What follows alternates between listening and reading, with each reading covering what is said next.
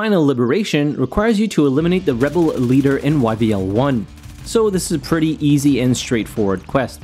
Head to LZ Lima 2 and go towards the bunker's main entrance or through the back way if you have the YBL 1 maintenance door key. Head down to the first floor of YBL 1, be careful of enemies, especially the ones that can spawn in walls. From my experience, you can pretty much always find the rebel leader down in the second lower level of YBL 1 on the main entrance side, and more specifically when you go down the staircase that leads to the lower level or the second lower level from that specific side. As with all the other elimination tasks, if YBL 1 has too much traffic, you could try server hopping until you find one that is less busy.